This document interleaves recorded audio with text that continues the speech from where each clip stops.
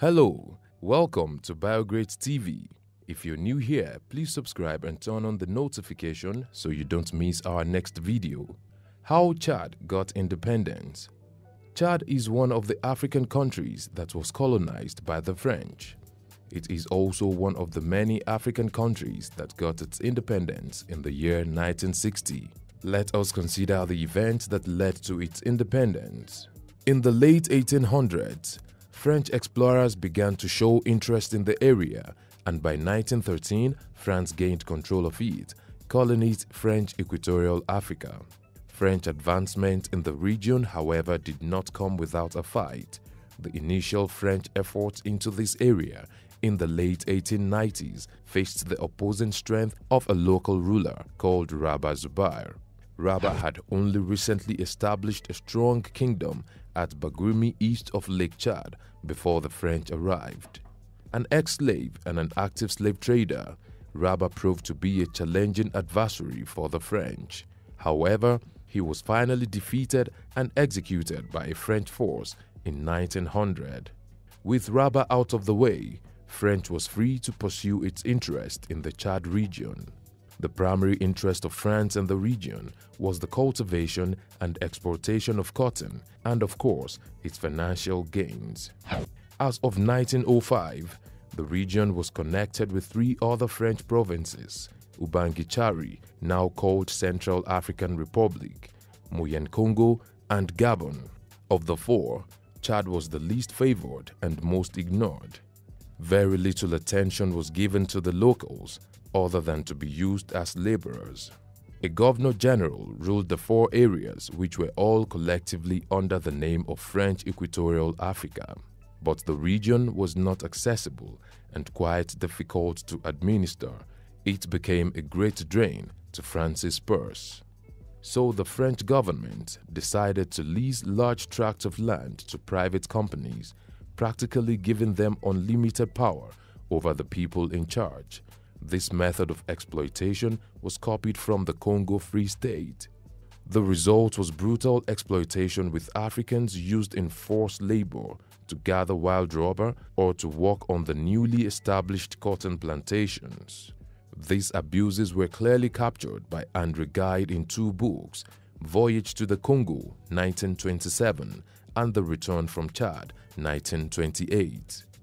Gide's revelations led to improvement in their social conditions.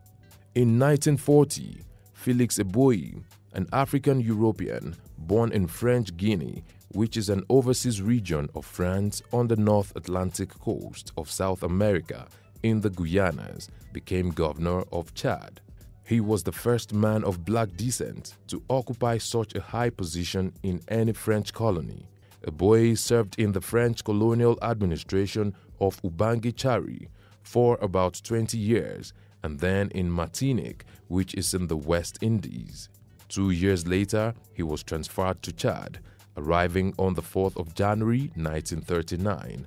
As governor of Chad during most of World War II, he helped build support for Charles de Gaulle's Free French in 1940. He also gave support to educated Africans and placed more of them in the colonial administration. Eboyi also helped to preserve African culture in the face of strong French influences. During the Second World War, French investment began to prove more profitable, particularly in the export of gold and diamonds from the southern region.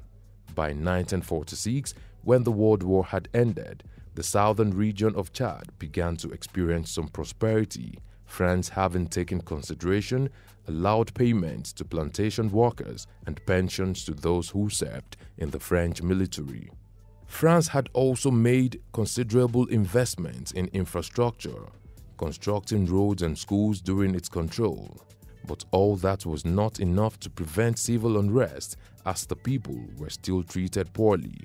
After the end of the Second World War, France granted Chad the status of overseas territory and its inhabitants got the right to elect representatives to the National Assembly and Chadian Assembly.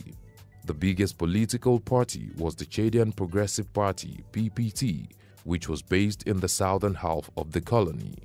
The inhabitants of Chad were also given permissions to become French citizens. However, France remained in strong control. By 1958, Chad became a separate entity from the other three territories and a sovereign state, though still under the French rule. Finally, on the 11th of August 1960, Chad was granted independence and the leader of the Chadian Progressive Party, Francois Tombalbaye, became the country's first president. What have we missed out of this history? Let's know in the comment section. Will it be ridiculous to subscribe to our channel? If no, please like this video, share and subscribe to our channel.